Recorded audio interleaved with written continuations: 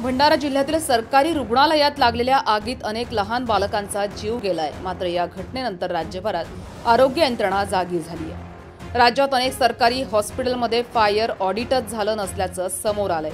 असाच प्रकार मनमाड उपजिल्हा रुग्णालयाचा देखील आहे. इथे जवळपास सव्वा लाख लोकसंख्या आहे. यासह ग्रामीण भागातील लोकसंख्या पाहता हा आकडा तीन लाखाच्या वर जातोय. मात्र हव्या त्या सुविधा या रुग्णालयात उपलब्ध नाहीयेत.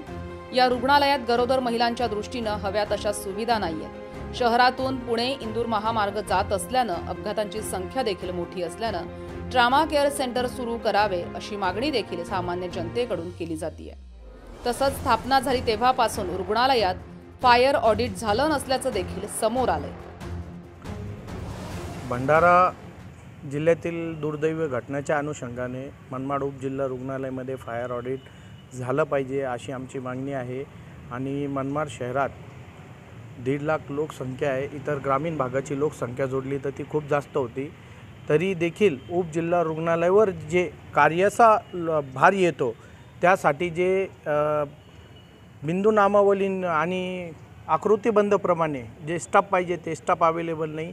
जसं की आमच्या उपजिल्हा रुग्णालयामध्ये कायमस्वरूपी एम डी मेडिसिन उपलब्ध नाही भूतज्ञ उपलब्ध नाही. ऑर्थोपेडिक उपलब्ध नाही आणि विशेष म्हणजे शासनाचा परिपत्रक असून देखील उपजिल्हा रुग्णालय मनमाड शहरातर्फे दिव्यांगांना प्रमाणपत्र वाटप करण्यात येत नाही. त्यांना नाईलाजाने मालेगाव नाशिक जावं लागतात. तर हा खूप मोठा प्रॉब्लेम आहे. तर शासनाने याची गंभीर दखल घ्यावी आणि डिलेवरीचा विषय असा आहे जर एखाद्या महिलाला सिझर करायची वेळ आली तर आम्हाला सोनोग्राफी मशीन उपलब्ध नाही. सोनोग्राफी रिपोर्ट भेटत नाही का? आम्ही ती रिपोर्ट घेऊन आमच्या पर्सनल डॉक्टराकडून ओपिनियन घेऊ का खरंच आम्हाला सोनोग्राफीची गरज आहे की नाही? तर ते ओपिनियन आम्हाला घेता येत नाही कारण सोनोग्राफी सिस्टम इकडं अवेलेबल नाही. तर एवढी मोठी लोकसंख्या असलेल्या उपजिल्हा रुग्णालयामध्ये हे मूलभूत सुविधा आम्हाला मिळाले पाहिजे अशी आमची मागणी आहे. मनमाड जिल्हा उप रुग्णालयात काय उणिवा वाटल्या तुम्हाला? काय व्हायला पाहिजे? काल जी घटना झाली भंडाऱ्याला त्या दृष्टीने जर मनमाड उपजिल्हा रुग्णालयाची अवस्था बघितली तर अतिशय दुर्दैवी आहे.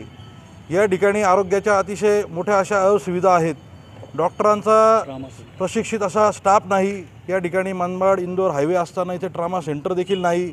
ॲम्ब्युलन्सची दुरावस्था आहे. ॲम्ब्युलन्स नादुरुस्त अवस्थेमध्ये आहे. कोविड सेंटर या ठिकाणी होऊ शकलं नाही. या ठिकाणी अतिशय स्व अस्वच्छतेचा जो भाग आहे आपण जर बघितलं तर या ठिकाणी पावसाळ्यात पाणीच असतं. माननीय भारतीय जनता पार्टीच्या खासदार भारतीताई पवार यांनी पी डब्ल्यू डीच्या अधिकाऱ्यांना स्पष्ट असे आदेश या असु स्वच्छतेबद्दल दिलेले असताना देखील त्यांनी दुर्लक्ष केलेलं आहे. आणि आरोग्य प्रशासनाच्या बाबतीमध्ये हे सरकार राज्य सरकार देखील अतिशय बेसावध आणि बेजबाबदारीने काम करते जेणेकरून या मनमाड शहरातील लोकांची आरोग्य व्यवस्था ही धोक्यात आलेली आहे. मी रुग्ण कल्याण समिती सदस्य मनमाड. आज कालची जी घटना घडली भंडारा जिल्ह्यामध्ये या घटनेच्या पार्श्वभूमीवर आम्ही कालच तातडीची बैठक घेऊन आमच्या हॉस्पिटलचे एम एस डॉक्टर नरवणे यांच्याशी चर्चा करून ज्या काही उपाययोजना आहे जे काही आपल्याकडून ही घटना कुठे घडू नये अशी पण पुन्हा पुनरावृत्ती होऊ नये अशी आम्ही पूर्णपणे दक्षता घेऊन दक्षता समितीच्या वतीने त्यांना सांगण्यात आलेले आहे.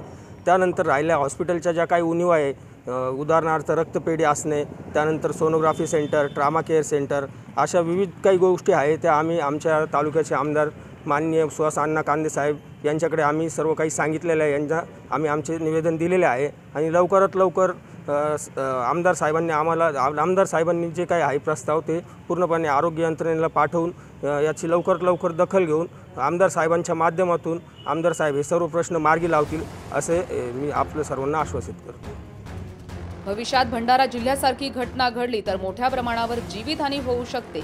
याकडे आरोग्य विभागानं लक्ष द्यावं. अशी मागणी आता जोर धरू लागली आहे जागर जनस्थानसाठी आमीन शेख मनमाड.